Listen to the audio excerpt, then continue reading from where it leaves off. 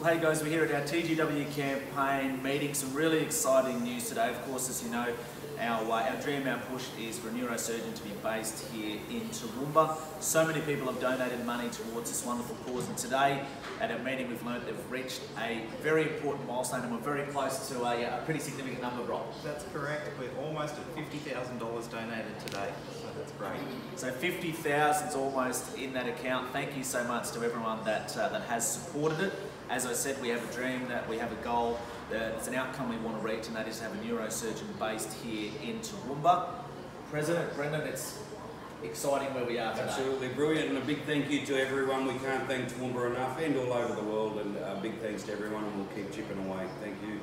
So if you want to donate, Rob, the best way people can go about it, they want to be a part of it, how do they do that? You can donate on our website, which is www.thegreatwhitecampaign.com.au. So thanks so much for your support, and we do wish you all a very Merry Christmas and a Happy New Year, and continue to uh, to do what you do and support us for what we're doing, and uh, we continue our journey towards reaching our ultimate goal.